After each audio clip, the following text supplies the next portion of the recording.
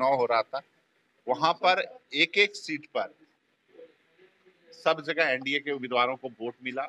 और हमको उम्मीद है कि पूरे जो दो राज्य, आप झारखंड और महाराष्ट्र की बात करें, दोनों राज्य में एनडीए की जीत होगी। कहीं कोई दिक्कत वाली बात नहीं है, दोनों सीट पे हम लोग चुनाव जीत बिहार सरकार के भवन निर्माण मंत्री जयंत राजे ने बिहार के चार सीटों पर हुए उपचुनाव व झारखंड विधानसभा चुनाव को लेकर बड़ा बयान दिया है।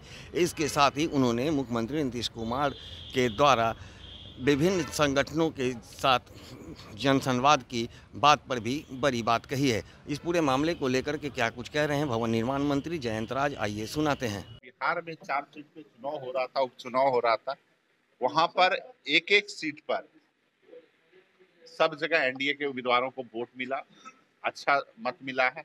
और हमको उम्मीद है कि पूरे जो दो राज्य, आप झारखंड और महाराष्ट्र की बात करें, दोनों राज्य में एनडीए की जीत होगी और अच्छे मार्जिन से एनडीए की अच्छा झारखंड में दो सीटों पर जेडीयू लड़ रही थी, मुख्यमंत्री चुनाव प्रचार के लिए किस तरह से देखते क्या परिस्थिति? नहीं, अन्य अन्य लोगों की ड्यूटी, ज़िम्मेदारी वहाँ पे मिली हुई थी। अन्य लोग वहाँ पे गए हैं। कई एक विभाग के कई एक मंत्रियों, मंत्री को वहाँ पे ड्यूटी पे लगाया गया था और अन्य लोगों को लगाया गया था। क्योंकि माननीय मुख्यमंत्री जी का शेड्यूल बहुत टाइट रहता है, काफ़ी देखते ही हैं कि बिहार में हर दिन यहाँ पर भी चुनाव चल रहा था चार इसमें और हर दिन कहीं ना कहीं किसी न किसी उद्घाटन और शिलान्यास में जाना पड़ता है मुख्यमंत्री जी को। तो इस कारण से मुख्यमंत्री जी नहीं गए हैं लेकिन कहीं कोई दिक्कत वाली बात नहीं है। दोनों सीट पे हम लोग चुनाव जीते महाराष्ट्र में एक प्रकरण हुआ विनोद तावड़े जी का पैसा बांटते हुए ये आरोप लगाया गया कि विनोद तावड़े पैसा बांट रहे थे। अब देखिए ये बिहार बिहार से तो पता नहीं चलेगा कि महाराष्ट्र में क्या प्रकरण हुआ है। हम लोगों ने न्यूज़ वगैरह में भी देखा है। तो वहाँ के लोग ज़्यादा बेहतर बता सकेंगे ये बिहार से जुड़ा हुआ मामला। अच्छा एक और फैसले ये कैबिनेट में कि मुख्यमंत्री जी दिसंबर में जाएँगे घूमने के निकलेंगे महिलाओं से संवाद करेंगे क्या क्यों आवश्यकता आन पड़ी और क्या इसकी अहमियत देखिए समय समय पे बिहार में विकास की योजनाओं को देखने के लिए मुख्यमंत्री मान मुख्यमंत्री बराबर निकलते रहे हैं। आप देखे होंगे कि हर जगह जीविका दीदियों से भी कई एक जगह मुख्यमंत्री जी का डायरेक्ट संवाद होता है।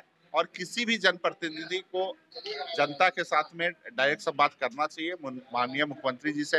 हर आदमी को सीखना चाहिए कैसे आम लोगों से संवाद किया जाता है। तो ये संवाद का तरीका है कि हमने जो काम किया है, अभी चार साल हम लोगों की सरकार का हो गया है, हमने जो काम किया है उससे क्या फीडबैक है, क्या नहीं है, क्या उसमें और आवश्यकता है। हर रोज तो मुख्यमंत्री जी काम पर ही लगे रहते हैं। तो इस पर कर रहे हैं, बहुत अच्छी बात है। ये पार्टी के लिए भी अच्छी बात होगी और राज्य के लिए भी अच्छी सर कहा जाता है कि आधी आबादी क्या आप 2024 में उसको पार्टी की तैयारी है? देखिए बीस की परिस्थिति अलग थी। बीस में जो परिस्थिति हुआ लेकिन कोई भी परिस्थिति रहा उस परिस्थिति बीस का चुनाव के बाद चौबीस का भी चुनाव हुआ है। चौबीस की परिस्थिति को आपने देखा है कि महिला पुरुष दोनों वोटरों ने एनडीए को बहुत मजबूती से मत दिया और 2025 में आप जान लीजिए हम लोगों का 200 सीट का लक्ष्य है 220 सीट का लक्ष्य है और हम लोग 200 सीट 220 सीट लाएँगे।